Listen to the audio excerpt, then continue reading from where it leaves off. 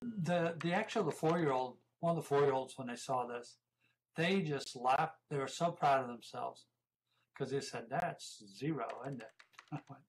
"Yes, that's zero. They were so they were so sweet.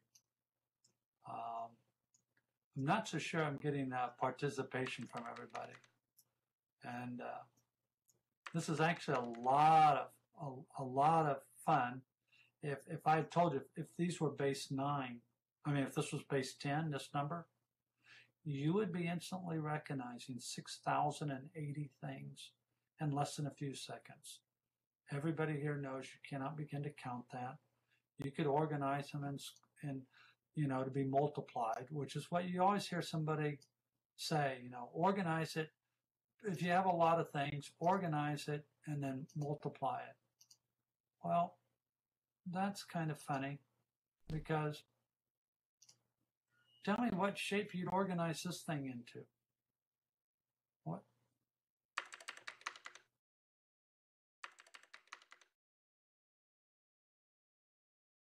I think this is a prime. I'm not sure. Yeah, this place you're getting it, and uh, keep participating.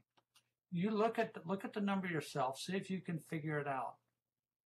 Katrish, that's good. Sty, I hadn't seen you in there. I know Alexis has got this.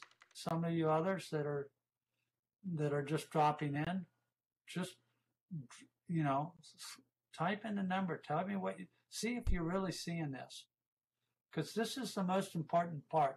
I can't really continue in the next two sessions. I don't have anything to build on.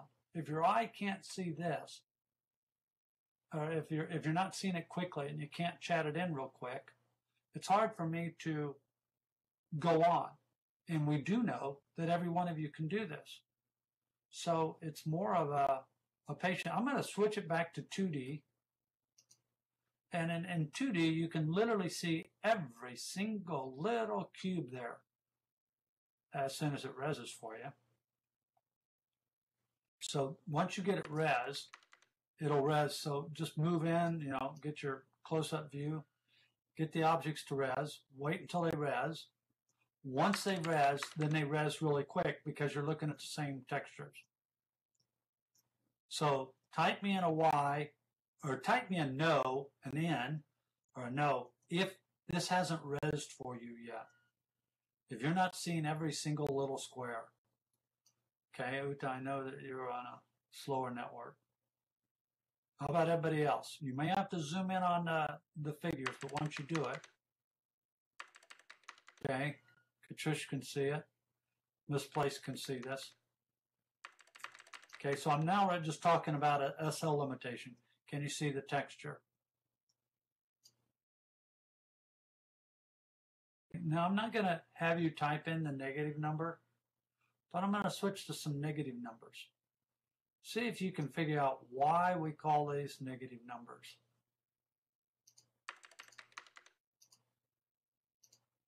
And you can just type in rest up. Here you go. That's a negative number. What is it?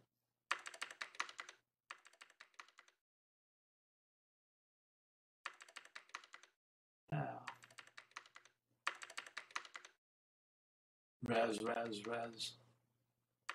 Mm-hmm. yeah, I changed color. After I told you all that about focusing on, then I went and changed colors on you. My bad. Yep, misplaced. That's exactly right. Yeah. Now you're getting this. This should be exciting for you because even as adults, we kind of like the fact that we didn't know everything and that there's something very easy to see.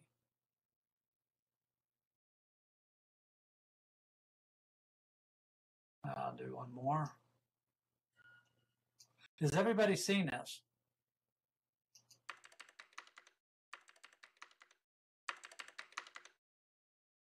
Of course, I mean, please say no if you're not seeing this. We'll see if we can't address it. And what number is that? Finally, we'll just stick that in there. Uh, Sabine, just what they're looking at is all the numbers that they're seeing. And so you're looking Sabine, let me put it back into 3D view. That might help. And so you're looking to see how many cubes do you see on a sheet? None. How many squares do you see? Two. How many segs do you see? We actually had to come up with a word for that one. Zero. And how many ones? hmm Okay, let's I'm, move I'm on. gonna I, I I want to interject real quick. oh, Um, one of the one of the things that you notice that Cooper's doing, although uh, you might not, I'm not sure. Um, the difference that with subquan than with when we talk about regular quantities, um, and that is that we actually say these different. They're not base 10 words. So if you take a peek over at the slide, um, you'll see a variety of interfaces that we already use. We don't need those base 10 words to input into your phone, your calculator, your TV remote. So, one of the things that we've done in education is we've clogged up children's minds with unnecessary vocabulary. So, we call this subquan speak, which is actually a lot of times when you relate a phone number um, or your social security number or anything like that, you say it digit by digit and that's how we say subquans and that's that's one of the way that that we can go between various bases so uh, you would actually type in this number go well, you have a new one up there cooper there you go.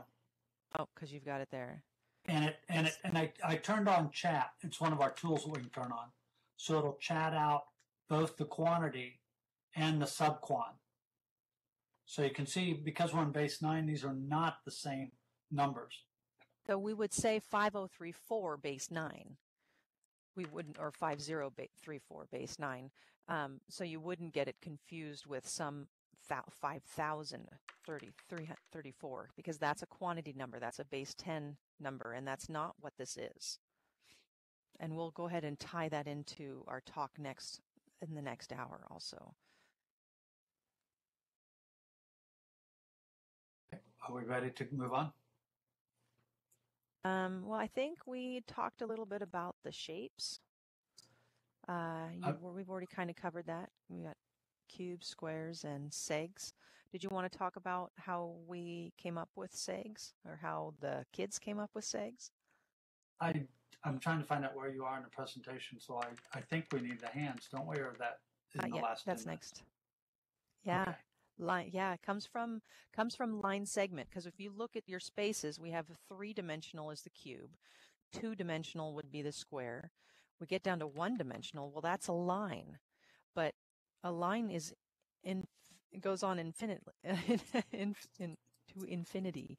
So we had to shorten it, and line segment would be how you shorten it, but that's a lot of um, syllables. We really wanted to keep it down to one syllable. So uh, the kids decided at that point that seg works the best since you couldn't call it a line and you don't call it a ment. So um, segs work the best, and the very the very small ones are still ones because ones are ones in any base. Um, yeah, so that was that was kind of neat um, that they came up with their own terminology for that. But what we have, um, uh, what what we have now is a way, a, an even better way to go ahead and look at um, look at a different, at looking at all the shapes. And Cooper has created the hands. It's the left and right hands. Um, and if you're interested in playing with this further, uh, there is a device underneath our Prezi board on the little table back at our poster session. Um, you can go ahead and see that. Also, after this session, uh, Cooper will be giving those away free. You'll need to IM him. Um, but what we do is we use this device to teach shape, color, combining, and counting. I have Um, the hand. I'm bringing it out. He's bringing it out. That's a good deal. Bring um, in the hand. So I know we up. sort of talked. Let, let's see. We sort of talked about this already. Uh, the reason for the different colors. Yes, we did talk Anybody shout out the reason for the different colors? Yeah, because we talked about that. sort of in review.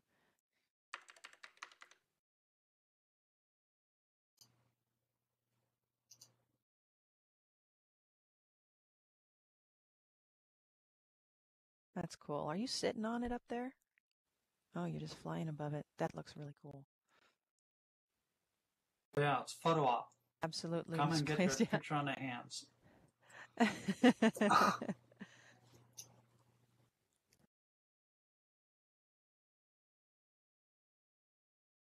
Okay, go ahead. The hand's ready for you. You can point, okay. click, and So what's do whatever you want. uh, last year when we we were here at VWBPE, we we uh, presented the right hand, which is the little tiny one up above.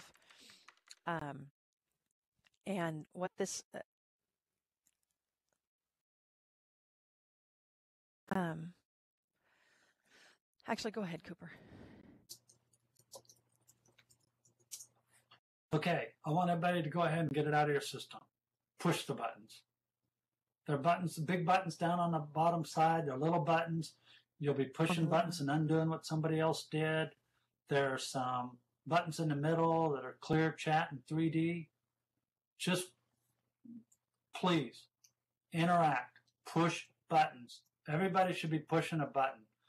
Don't forget the little small buttons on the right. The right hand is the small one over there. Uh, it's up on the Ah, right because the right hand only goes from zero to 31. And the left hand um, takes you all the way up to 1023. Ah, somebody press chat. Cool. Somebody Can anybody tell me also. what- What base this this hand is in?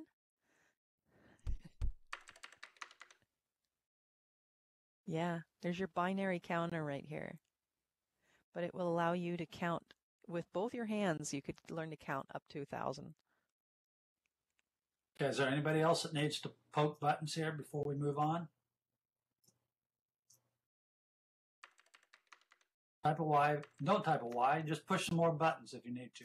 But we're going to go over, she's going to go over this device as she, you know, as an example to tell you about how we use this for two things, for counting and for shapes, for teaching. That's the We do think you need to learn how to count. Above.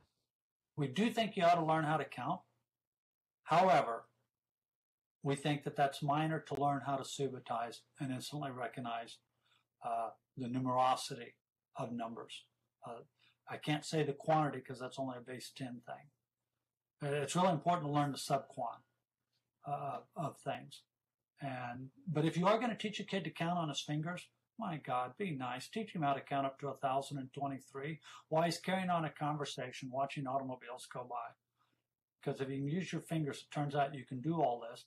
And your body, again, seems to like it. It seems to know how to do this. These are called the hands because the one on the right is for the right hand for the five fingers. The little one on the left is the pinky. And then your thumb is actually for 16, quantities of 16. And then your thumb on your left hand is for quantities of 32. And your pinky on your left hand is for quantities of 512. And you can actually learn how to count them. So if we'll stop pushing buttons, we'll let, uh, we'll try to go through these shapes and I will help Rebecca because we, we want Aruta so because we wanted everybody to be able to play with it. But we also uh, want to proceed. Okay, so if everybody will take their fingers off the off the hands, uh, clear it. And let's just start. I'll, I'll just go through. I'll, I'll, I'll light one shape. So why don't you go ahead and start, Uta? If you notice, this is the the ones. This is the ones item. It also looks like a, a cube in itself, but what we'll be recognizing here is a is a repetition of patterns, repetition of shapes.